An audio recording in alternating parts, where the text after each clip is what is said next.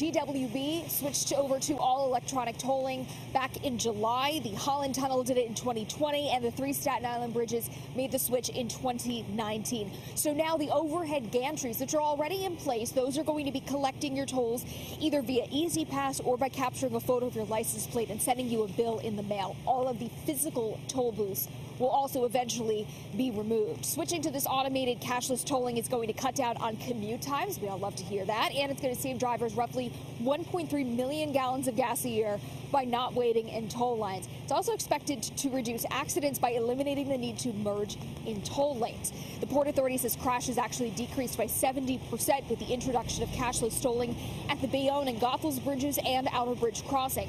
But like I mentioned, if you think you can get just drive through and not pay the toll, think again.